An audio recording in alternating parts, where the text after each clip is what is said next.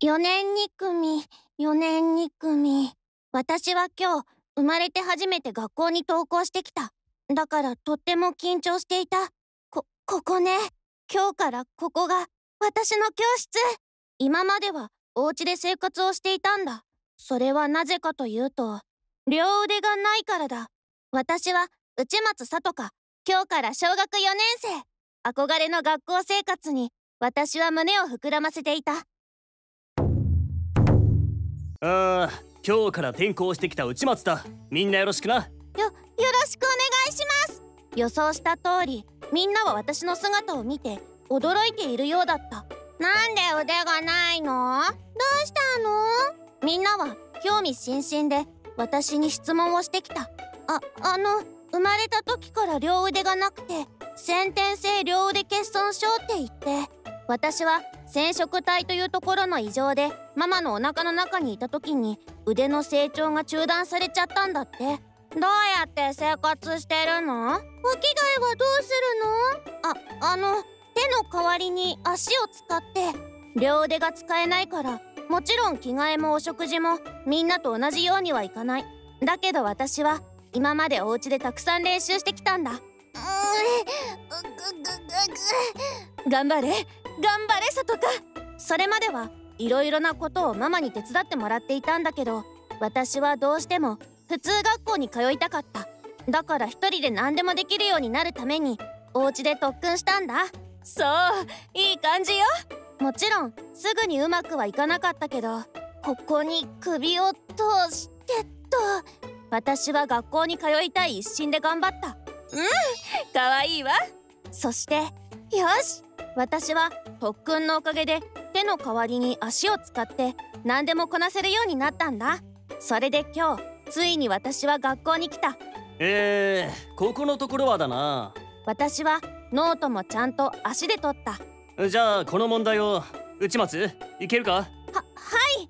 先生に当てられても足でチョークを持って黒板に答えを書いた。おうむ正解だ みんなそんな私に驚いていた。私はちょっぴり誇らしい気持ちになった。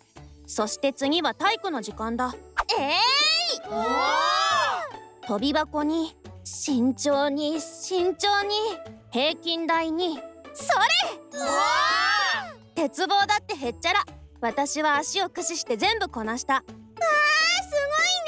ごいね！俺より動けるんじゃないのか？ええそんなことないよ。ありがとうみんな。私は今まで頑張ってきてよかったと思ったんだ。まだ1日目だけど学校はすごく楽しかった。だけどお昼の時間。はいさとかちゃん。ありがとう。初めての給食。私はいつも家でやってるみたいに足を使って給食を食べ始めたんだけど。なんだかみんなの視線が気になって。ややっぱり物珍しいから気になるよね。私はなるべく気にしないようにしていたんだけどやっぱりどうしても気になって。どどうかしたの？なんでもないよ。それで昨日はね。そそれならいいんだけど。うー気になるな。でもこれも最初だけ。きっとみんなそのうち慣れてくれるよね。次の瞬間。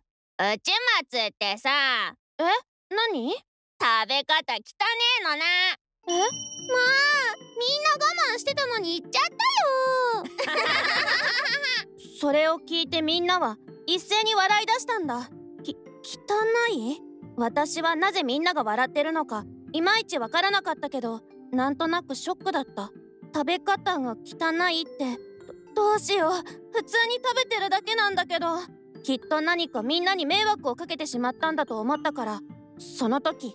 こら何やってるんだ。はしたないだろえ？先生まで私の食べ方を注意してきた。私ってはしたないの？そんな風に言われるなんて夢にも思っていなかった。今まではママと家の中で過ごしてきたから私はみんなとは違う。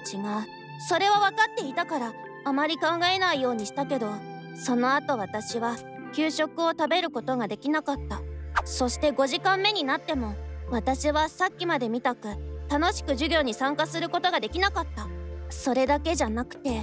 なんで普通の学校に来るんだよ。普通は特別支援学校とかに行くよね。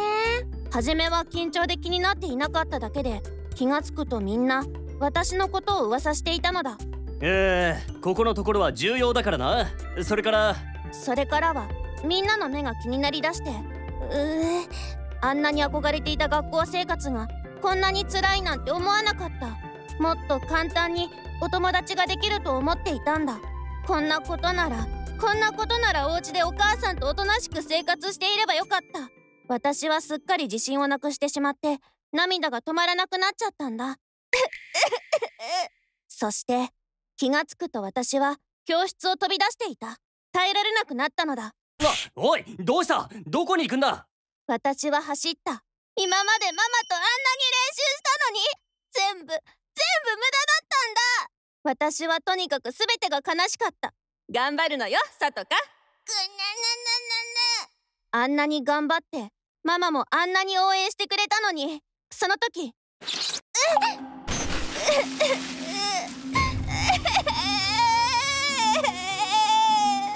私は友達を作ることができないんだ。普通と違うことがこんなに苦しくて悲しいだなんて私は知らなかった一人では簡単に起き上がることもできない。どんなに特訓したって結局私は一人じゃ何もできないんだと思った。神様は何で私をこんな私なんて私なんて私は悲しくて悲しくて仕方がなかった。その時え？自動車が迫ってきて。危ない！君大丈夫かい？はい。それからたただいま。どうしたのよさとか泥だらけじゃない？私を助けてくれた便利屋のアントンさんは私を家まで送ってくれた。それが。アントンさんはママに事情を話してくれたんだ。私はアントンさんに今日の出来事を全て話していた。するとママは行くわよ。行くってどこへ？決まってるじゃないママとアントンさんは私を連れて学校に戻った。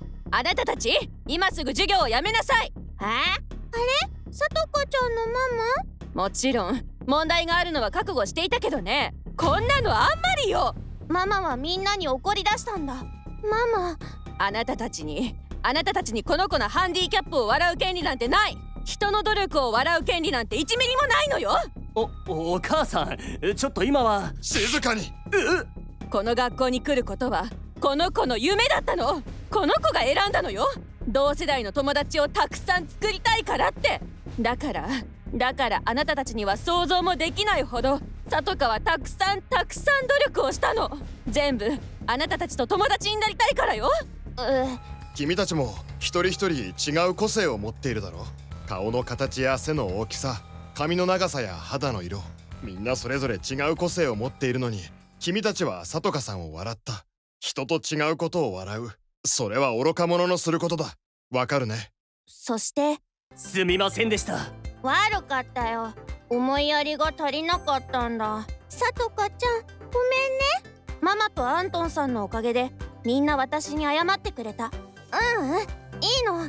元はといえば私のわがままでこの学校に来たんだから。わがままじゃないよ。これからは遠慮しないで何でも言ってね。この後事態を重く見た校長は担任の先生を謹慎処分にしたらしい。今は優しい先生が担任をしてくれているんだ。それから私はクラスでも一番の成績を取るようになった。それにみんなと本当の友達になることができたんだ。私はママとアントンさんにたくさん感謝したのだった。